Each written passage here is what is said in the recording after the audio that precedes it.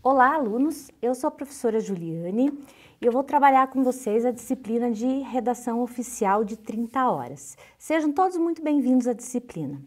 Essa nossa disciplina, ela tem a intenção de aperfeiçoar é, os conhecimentos que nós todos utilizamos dentro da esfera oficial da redação oficial.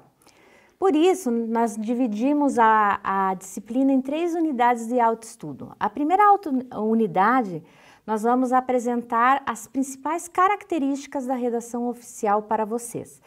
Além disso, vamos conhecer as principais formas de tratamento utilizadas é, nas correspondências oficiais.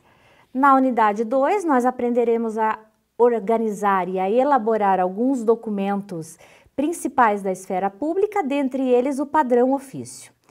E na unidade 3, por fim, nós trabalharemos com alguns tópicos de produção textual e revisão gramatical, dentre eles dando uma centralidade ao novo acordo ortográfico em vigor desde janeiro de 2009. Espero que vocês possam aproveitar a disciplina ao máximo, sejam todos muito bem-vindos. Estou à disposição para dúvidas no chat, por e-mail. Obrigada!